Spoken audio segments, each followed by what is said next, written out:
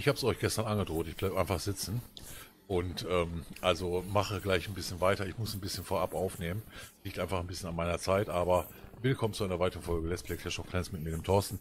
Und wir wollen heute ja, ein bisschen Rathaus 10 spielen. Ähm, die besten Taktiken im Rathaus 10 Bereich. Äh, ja, ich weiß, die, die, die gibt es nicht. Es, es gibt nie die besten Taktiken. Auch wenn jemand mal fragt, Toto, was ist die beste Taktik im Rathaus 11 Bereich?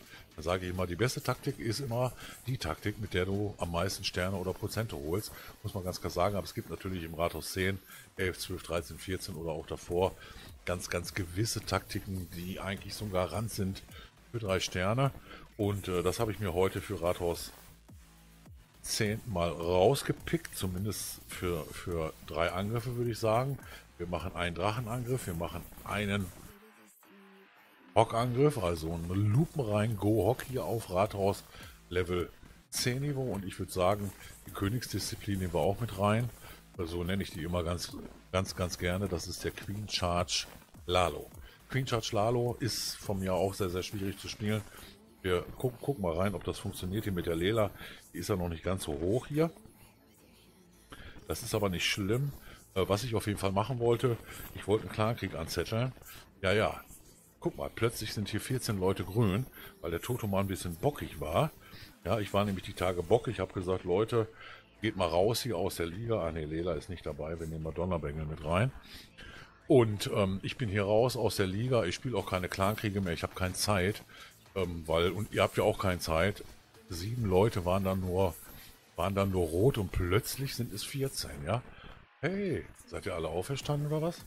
Mensch, da kann ich einen Klarkrieg beginnen ohne mich. Mal gucken, Donnerbengel muss natürlich Bescheid sagen, der wohnt ja ein bisschen unter mir.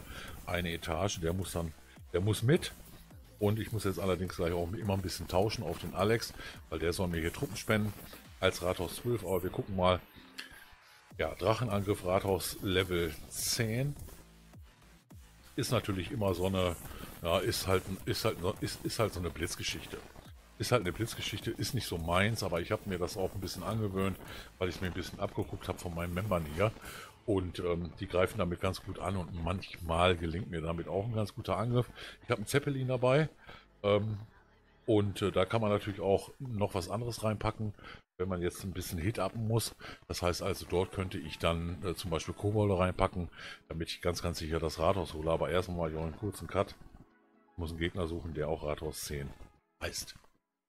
Na bitte, da ist er. da ist mein Rathaus 10. Ich wollte halt ein Rathaus 10 nehmen, Leute. Ich wollte halt ein Rathaus 10 nehmen. Hier hat er eine Luft. Okay, oh, zwei Tesla. Oh, ich habe Angst. Okay, ich habe Angst vor zwei Tesla. 1, 2, 3. Dann ist der Feger 1, 2, 3. Geht er noch mit kaputt? Der Feger geht nicht mit kaputt. Das ist auch der Hammer, ne? Naja, macht nichts. Wir haben noch, wir haben noch mal drei Stück davon. Machen wir noch eine Luftabwehr kaputt. Dann gehen wir ruhig gegen den Feger. Das macht nichts. Ähm, oder wir holen uns die Luftabwehr. Ich muss mal gucken, ob wir das hinbekommen. Ich glaube mal nicht. Clanburg-Truppen, äh, Clanburg ist im Ausbau. Ist auf jeden Fall ein aktives, aktives Dorf hier. Ich habe übrigens gerade wieder auf Stream starten geklickt. Versehentlich. Aber das war ja schon, oder? Oder das, das war ja schon und kommt auch wieder. Okay, mal sehen. Der King geht da rein. Queen macht noch die Luft ab.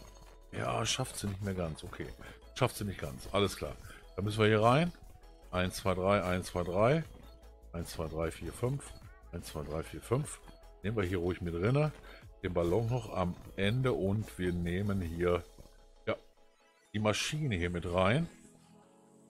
Ich muss jetzt nur mal gucken, wo wir am besten den Wut aufbewahren. Ich denke mal, ah, der war jetzt mal sehen, ob die Drachen da reingehen. So gut war der gar nicht. Denn äh, die Verteidigung ähm, das Rathaus verteidigt hier natürlich nicht. Das Rathaus verteidigt nicht, aber meine Drachen sind gut am Start. Meine Loons sind auch noch gut am Start. Guckt das mal an hier. Alter. So, einmal abgefriest hier. Der hat jetzt keine Clanburg-Truppen, aber ich glaube, so kann man es machen. Und also immer eine gute Armee. Neun Frieszauber, ein Wut und Frost dabei. Ähm, Giftzauber braucht er bei Drachen nicht nehmen. Also im Rathaus 10 Bereich ist das immer echt ein Garant hier. Minimum für zwei Sterne. Also selbst wenn du nur das Rathaus holen willst und ein paar Prozente mit dieser Kombi hier, schaffst du es einfach immer. Muss man ganz klar sagen. Muss man ganz klar sagen. Äh, gegen Sondorf sowieso, das ist ein Rathaus Neuendorf. Äh, wo der irgendwo hatte, der Infernos, weiß ich jetzt gar nicht. Egal. Ist immer noch eine gute Kombi. Also nur immer mal wieder zum Wachwerden, so pro Jahr einmal. Ja, Rathaus 10 gibt es immer noch. Es gibt immer noch die vielen Drachen. Ey, guckt euch das mal an, wie viele Drachen das noch gerade sind. Das ist der Hammer. Ist ja nichts gestorben, ne? Hätte ich mir meine Klamburg auch sparen können, okay? Aber Klamburg sparen ist sowieso nicht. Solltet ihr auch nicht machen. Klamburg sparen solltet ihr auch nicht machen. Okay. Nächste Armee ist diese hier. Da nehmen wir mit rein. Äh, warte mal, haben wir da ein Gift mit drin? Ja, das machen wir aber nicht so.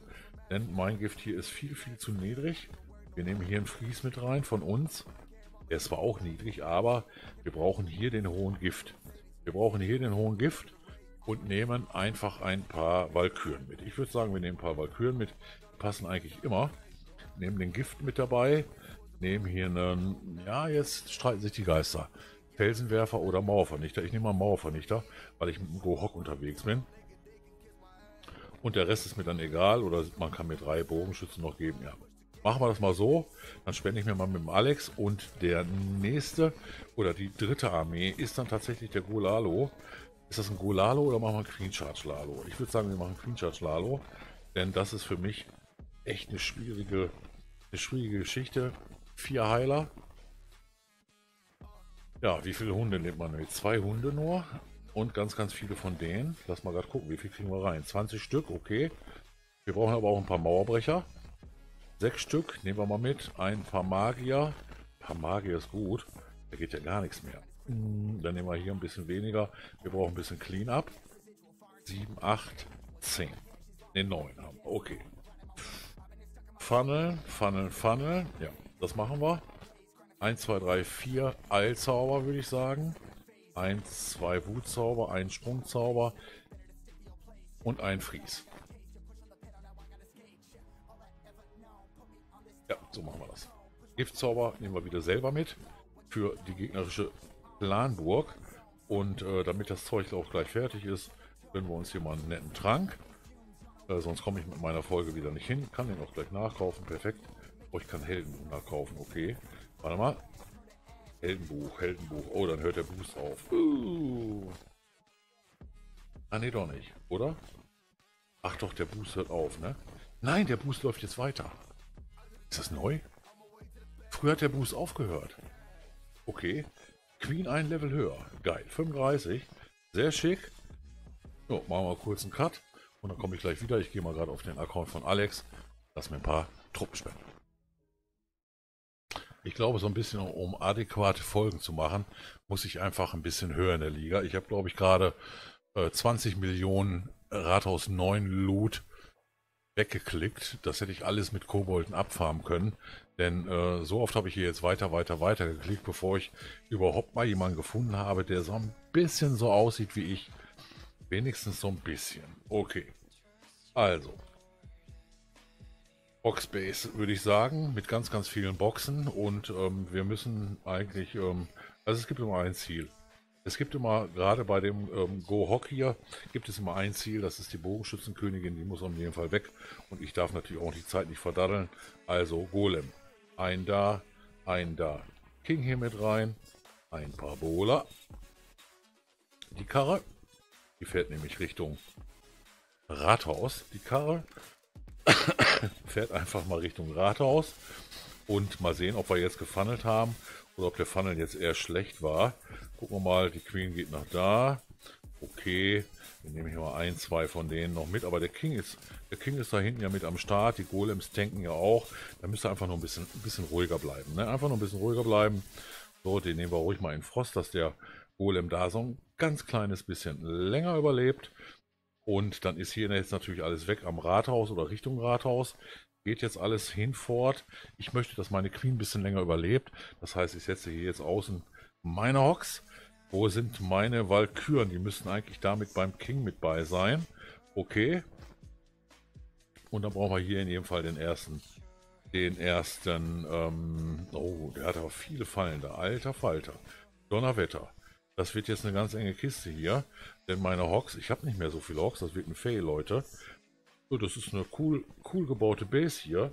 Sehe ich jetzt gerade. Das habe ich ein bisschen zu leicht genommen, aber das ist auch gut so. das ist auch gut so, dass ich das zu leicht genommen habe, denn ähm, es könnte ja sonst schwerer sein. Ne? Es könnte ja sonst schwerer sein. Okay, da unten ist noch ein Inferno, der da lebt. Also das wird in jedem Fall ein richtig, richtig schöner Fail hier von mir. Ähm, wunderbar. Aber auch das gehört dazu. Oh, da sind noch ein paar Hocks. Okay, drei Hocks, aber da ist noch ein X-Bogen. Oh, oh. Warte mal, wo ist die Schämecke? ich muss mich jetzt gerade mal schämen.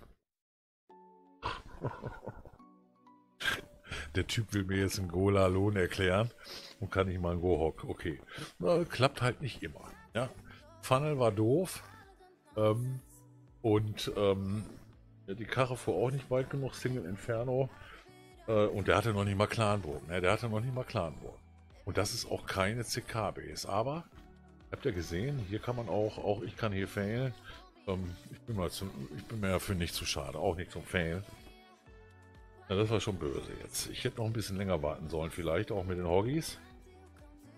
Dass die Queen dort nochmal ganz, ganz vorbei rennt. Schafft die den Inferno? Ne, schafft es auch nicht mehr. Naja.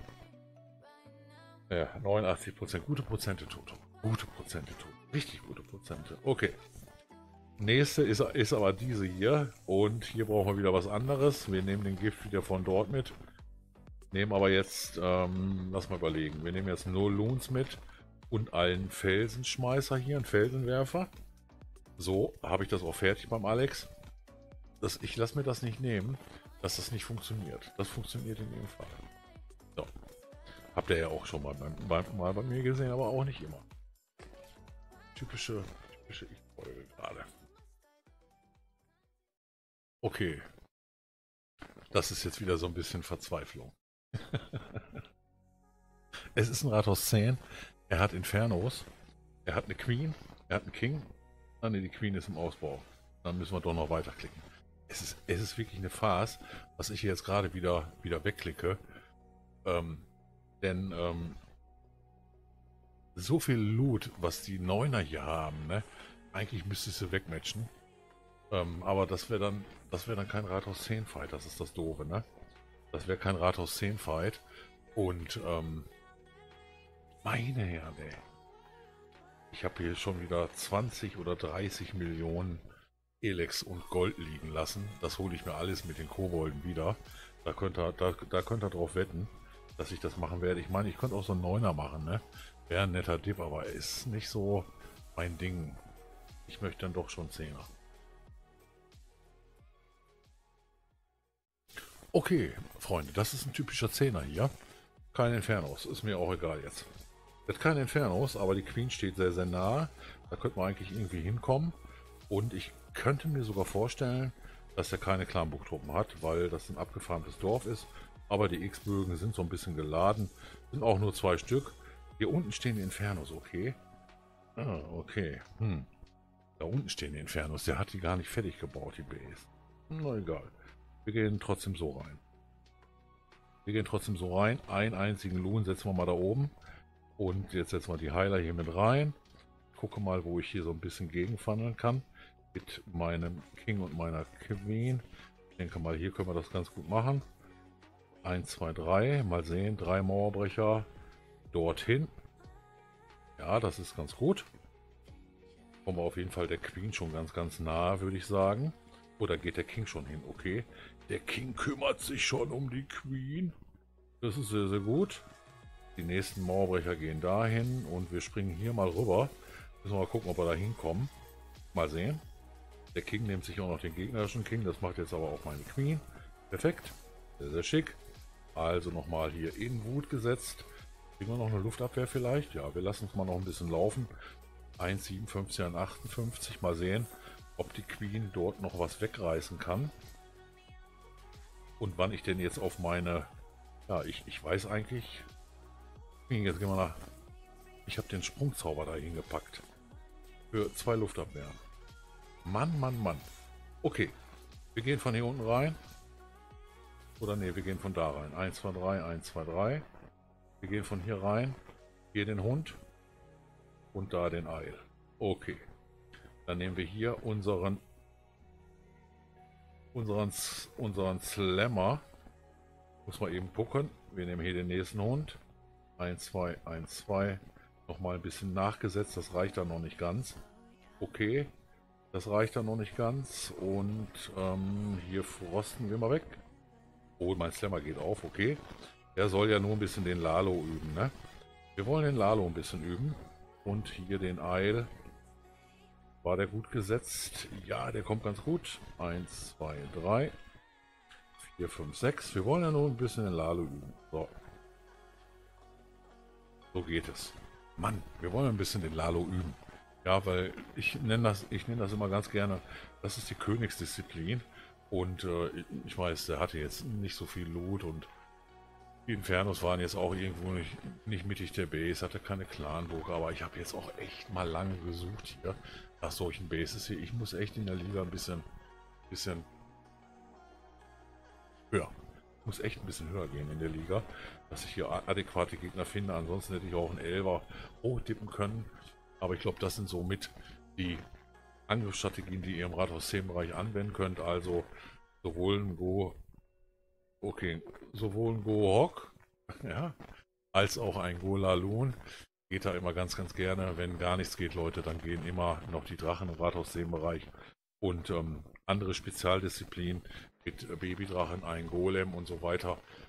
Zeige ich euch sicherlich irgendwie mal live oder vielleicht mal in den Angriffsstrategien oder sowas, aber ich denke mal, das sind so ein bisschen die drei gebräuchlichsten, die besten Strategien für Rathaus 10 nach wie vor. Und äh, gibt natürlich auch totale Exoten mit, ähm, ich nenne es mal so, äh, Queen Charge Drachen oder Queen Charge ähm, nur Loons ohne, ohne die Lava-Hunde geht auch. Also es gibt Stratos 10 Bereich ist unheimlich flexibel, was Angriffsstrategien angeht und, und sehr, sehr breit gefächert.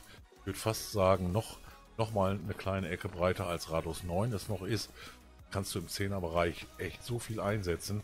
Aber wie ihr seht es selber, ich muss auch die passenden Bases finden. Ich hoffe, das Ganze hat euch trotzdem für den Freitag gefallen. Ich habe jetzt drei Aufnahmen am Dienstag für euch gemacht und ähm, musste halt ein bisschen vordrehen. Ich hoffe, das war jetzt nicht ganz so schlimm. Wir haben uns hoffentlich auch gesehen und sehen uns weiterhin.